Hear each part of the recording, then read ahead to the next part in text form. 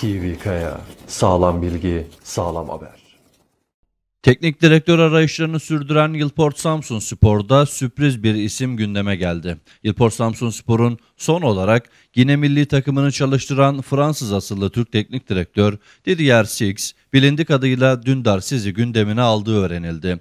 Yılport Samsun Spor Başkanı Yüksel Yıldırım'ın birkaç gün içerisinde Dündar Siz ile görüşeceği öğrenildi.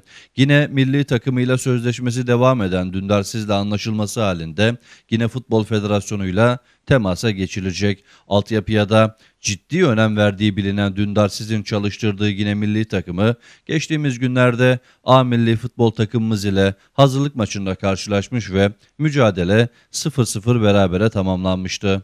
Öte yandan Futbol 55 ekibi olarak şu anda yine de bulunan Dündar Siz'e ulaştık. Türkiye'den gelen bu telefon karşısında oldukça şaşıran Dündar Siz, yine milli takımının teknik direktörü olduğunu hatırlatarak şimdilik konuşmasının doğru olmayacağını ifade etti. Türkiye'de Galatasaray forması giyen ve o dönem Türk vatandaşlığına da geçen Dündar Siz'in yakın çevresi ise deneyimli teknik adamın Türkiye'de çalışmaya çok sıcak baktığını ifade ediyor. Samsun Spor Dündar Siz birlikteliğinde neler yaşanacağı ilerleyen günlerde daha netlik kazanacak. Yaygın medyanın güçlü seslerinden Fotomaç gazetesi Samsun Spor'un teknik direktör Hikmet Karaman'la anlaşmak üzere olduğunu yazdı. Fotomaç'ta yer alan habere göre tarafların anlaşmaya yakın olduğu, son görüşmenin ardından ise her şeyin netleşeceği vurgusu yapıldı. Taraftarların bazıları Hikmet Karaman ismine sıcak bakmasa da yönetimin nasıl bir yol izleyeceği merakla bekleniyor.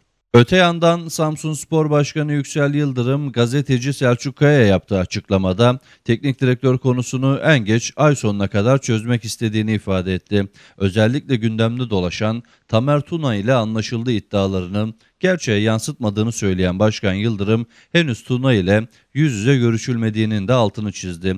Öne çıkan bir isim olmadığını da belirten Başkan Yıldırım teknik direktör konusunda aceleci davranılmadığını da belirtti. YouTube TV Kaya Haber Bülteni izlediğiniz için hepinize teşekkür ederiz. Lütfen Samsun Spor'daki gelişmelerden anında haberdar olmak için YouTube TV Kaya kanalımıza ücretsiz bir şekilde abone olmayı unutmayın. TV Kaya. Sağlam bilgi, sağlam haber.